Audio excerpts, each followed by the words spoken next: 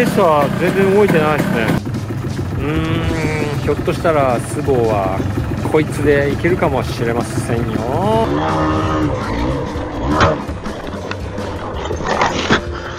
あいってー。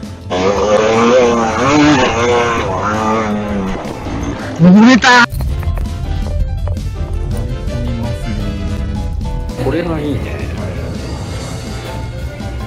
このカボス酢醤油がすごい合ってますね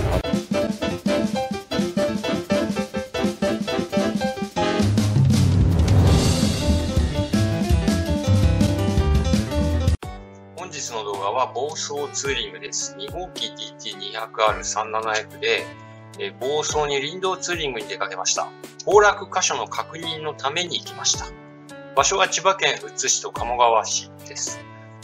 房総半島を西から東につなぐ楽しい経路でお気に入りなのですけれども、その中でですね、2箇所崩落がありまして、で路線としては東奥の小出見山中大山横高山湯の木、そのうちの山中と大山ですね、ここの2箇所の崩落があったので今までですね結構大きく迂回してたんです。であの迂回するとですね楽しさなぜか半減ですねやっぱりなぜだろうもし繋がっていたら、えとても嬉しいというわけで、え果たしてどうなっているでしょうか、えそれではその路線のですねえ地図で、え路線確認をしながら本編に入ります。本編どうぞ。では、その西から東へと伸びる林道の経路を地図上で見てみましょう。どういう経路かと言いますと、今色付けされた路線です。ね、この富津市の竹岡のあたりから、え始まります。まずはですね、東奥の線。で、その東奥の線が、えー、穂出見線につながります。で、穂出見線なんですけれども、え、もみじロードというところに出まして、そのもみじロードを少し走るとすぐに山中線に、え接続します。はい、山中線です。ただし、あの、山中線なんですけれども、えっと、こちら、えーこの印があるあたりですかね、このあたりで崩落してまして、大崩落で、で、えーまあ、通過できませんでした。はい。で、逆側からも行ってみたんですけれども、当たり前ですが、やっぱり崩落だよね、というわけで、えー通過できませんでした。はい。まずここで1箇所です。そして次、はい、大山線ですね。はい。大山線もですね、このまま×印のあるところ、えーここで、あの、崩落してました。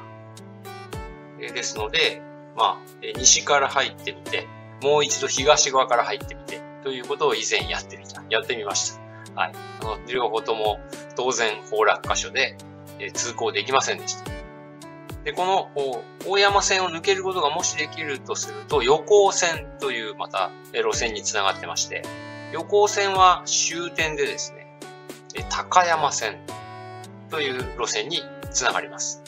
で高山線は、その終点で、えー、なんて言うんでしょうか、突き当たる、舗装路ですね、を右折して、少し走ると、右側に、湯の木線という路線の入り口が見えてきます。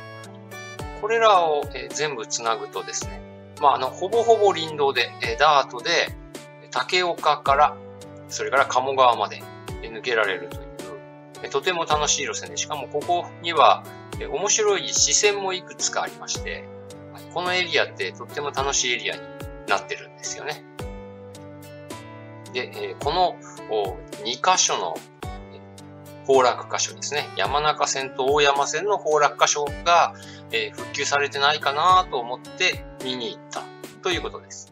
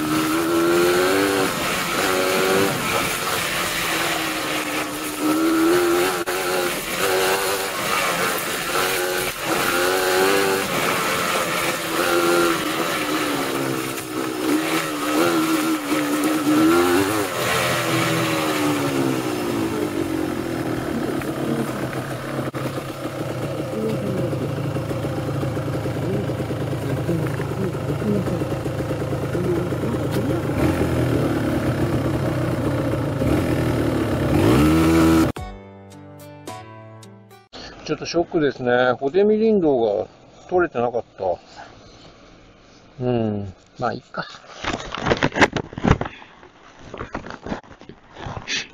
じゃあ行きましょう。お腹空いたけど。次はですね、豊岡線の支線です。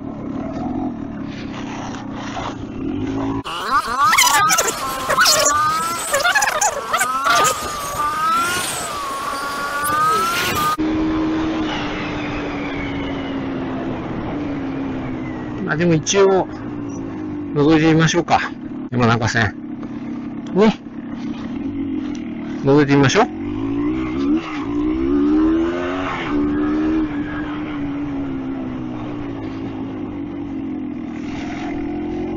おや？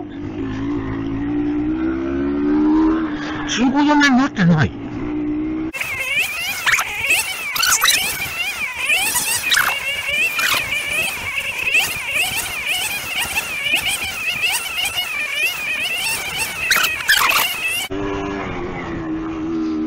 うん、この落石注意の後に左コーナーで曲がったらもう、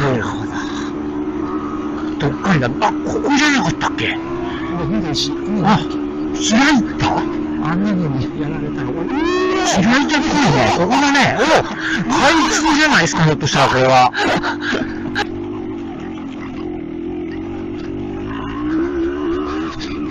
おおひょっとしたらそうかな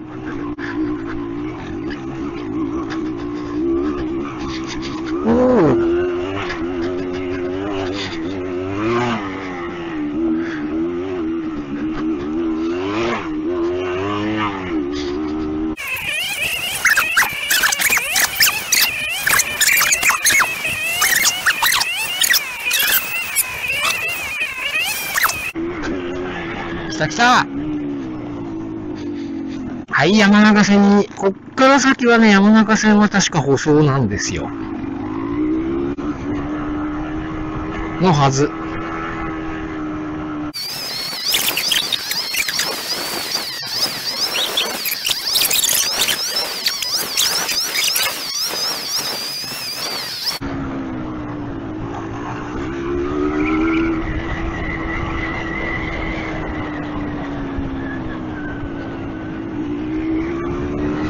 はい、そろそろ県道に合流しますね。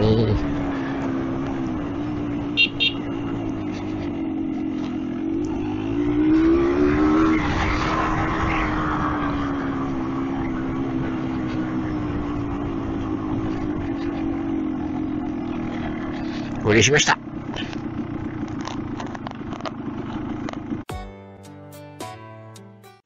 ああ、やっぱり大山線はダメですね、多分。この先通行止めって書いてある。ってことはやっぱり、富津市じゃなくて、ここ鴨川市なんで、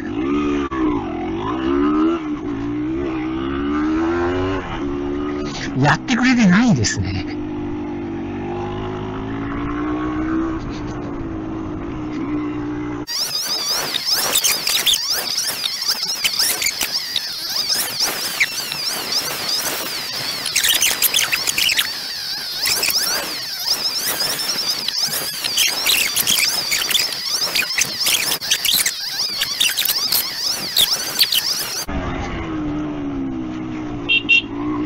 で、そうなった場合にどうなってるのか。多分これいけるな。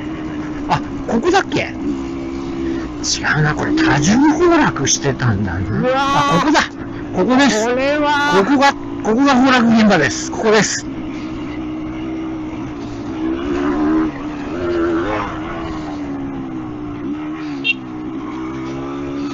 どかしましたね、全部。ここも崩落してたんだ。あ、俺、反対側から見てるつもりはここまでしか来れなかったんだ。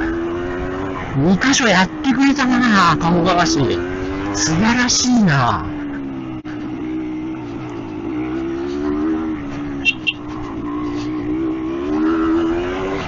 ということは、金谷元がもう、逃げてた可能性あるよね。富津市がやったってことは。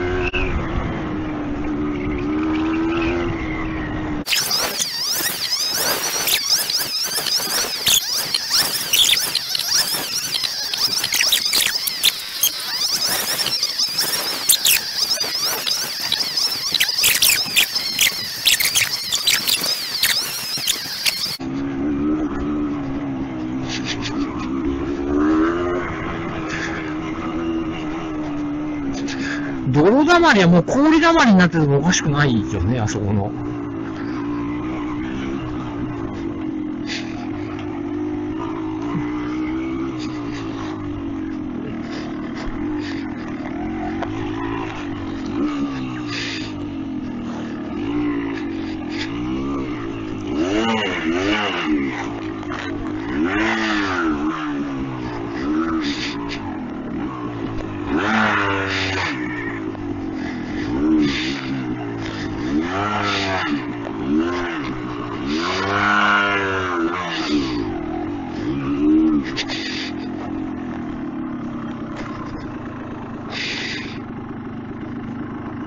今、ハマっちゃってますね。スタックしてるので、一緒に助けましょう。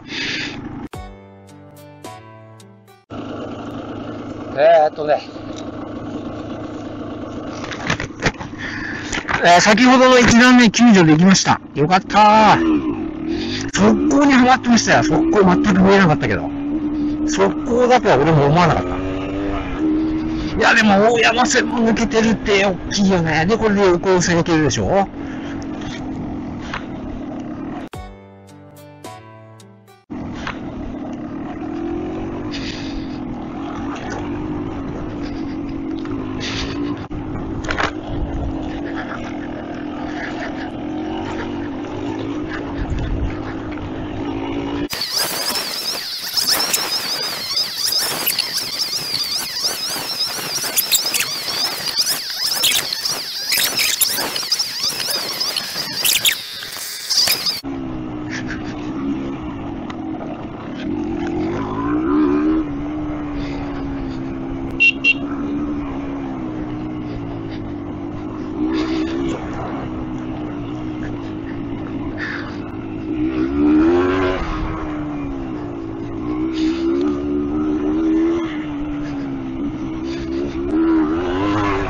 な、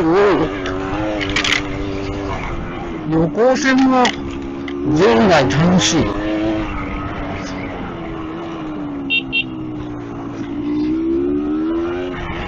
よっしゃ、で、高山線と。はい。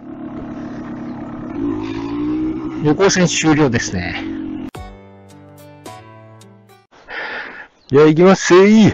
高山線。高山線意外とすぐ終わっちゃうんだよね。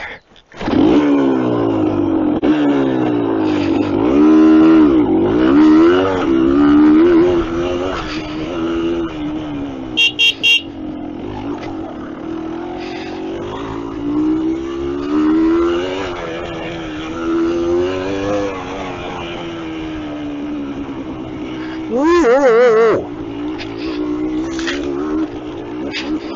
おおおおおなんか、ちちょっと来ない間に高山線、少し掘れたね。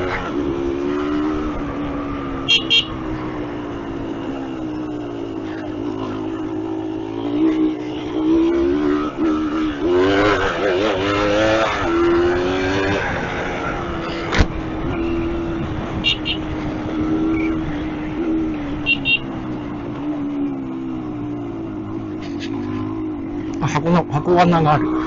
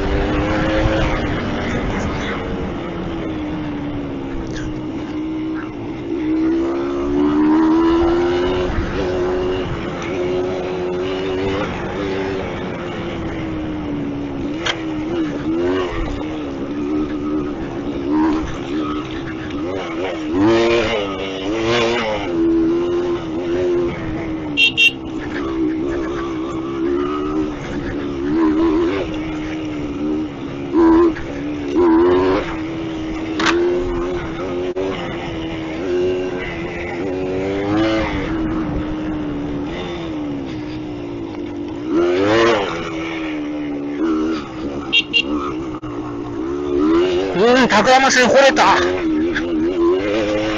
すごいほれた。こ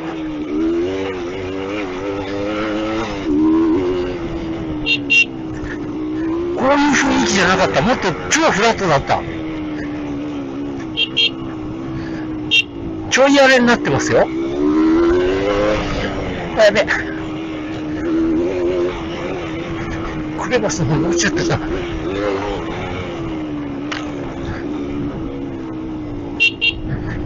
いやー、高山線出てきました。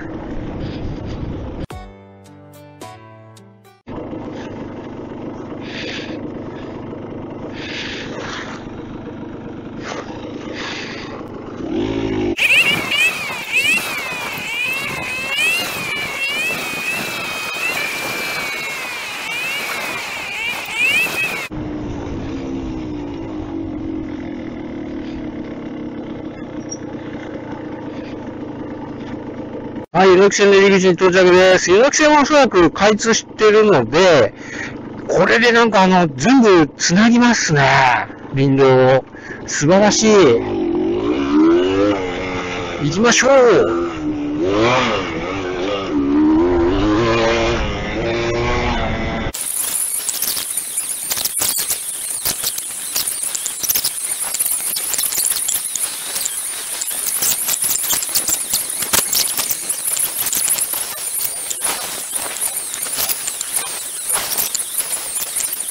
中行きましょうよ。めっちゃフラットじゃん。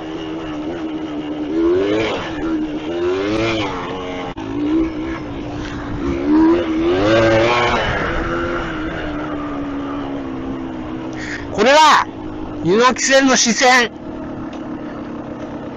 ここです。ここに行きたかったんです。これがどこに抜けるのか楽しみだな。じゃあ、猪木線の本線途中から。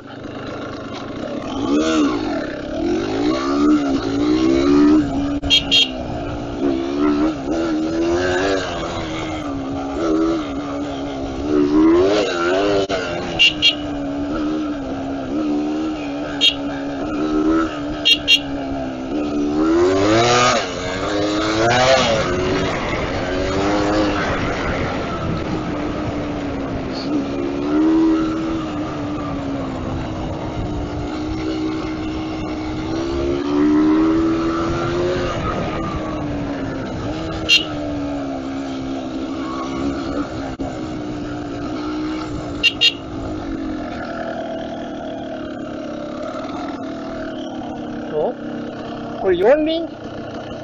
四輪のヒル？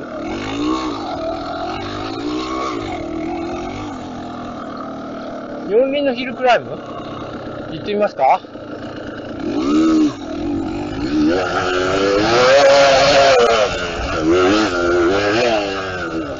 うわ！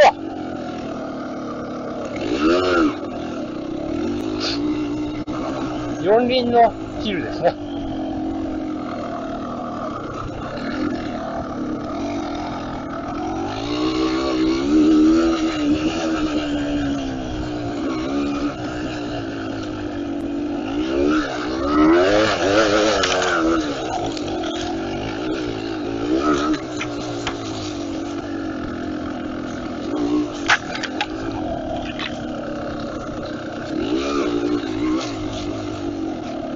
おーうんなるほど。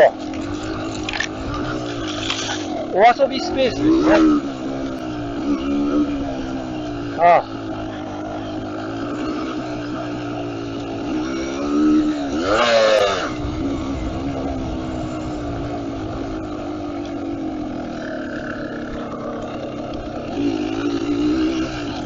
ちょっとしたお遊びスペースでした。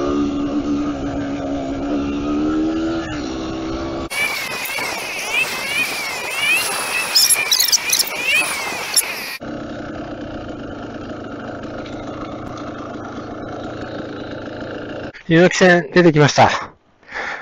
えーと、山中線の崩落、それから大山線の崩落、これが全部、えー解除されてて、あの、竹岡の方からもうずーっと、ここまで抜けてこられるようになりました。これはでかい。ね、あの、時間がかからない。そして、えー、猪木線の視線で、ものすごく楽しいところを見つけました。はい、あの、セクション的な挑戦、チャレンジ箇所が何箇所もあって、で、ご覧の通り、結局、えー、退散してきました。あの、パーティー作って、で、それで来ようと思います。もし落ちても引き上げられるっていう、そういう人数でもう一回行きます。いや、暴走はね、やっぱ楽しいっすわ。うん。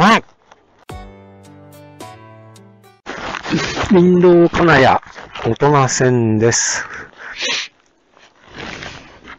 フェリーの金谷港から元名集落まで繋がっているという林道なんですけれども、えっ、ー、と、富津市の説明によると、大規模崩落で通行止めと、いうことでした。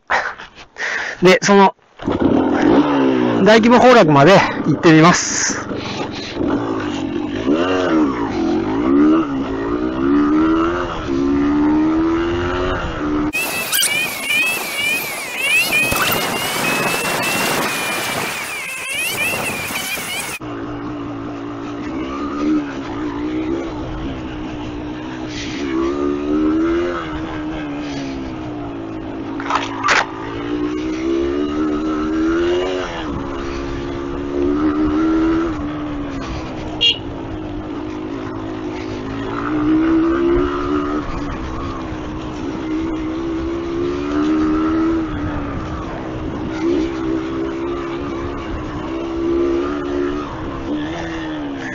倒木あるものの、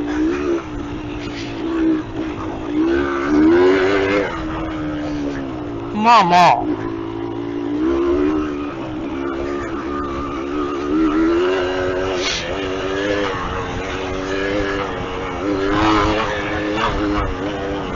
金谷元野線ですね。うわー、これかこれですか。これはね、道、路体は崩壊してないけど、すごいですね。あ、なるほど。まとめます。えー、祝開通ですね。山中線、小山線の大崩落は復旧されて、開通されてました。これで西から東へ、竹岡から鴨川へ、ほぼ林道でダートで繋ぐことができて、この路線の楽しさ倍増です。